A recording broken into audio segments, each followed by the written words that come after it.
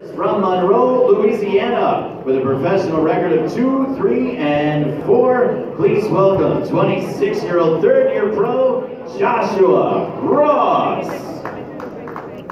His opponent, ladies and gentlemen, makes his professional debut tomorrow evening, hailing from Capitol Heights, Maryland. He was a quarterfinalist for Team USA in the 2016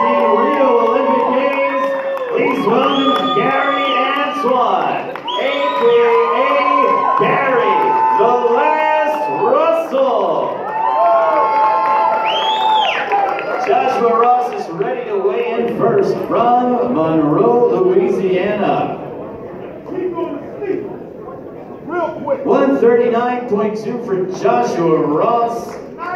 Joshua Ross notched a victory, a unanimous decision last June in his last outing. He'll take on Gary Antuanne, aka Gary the Last Russell, making his way to the scale right now.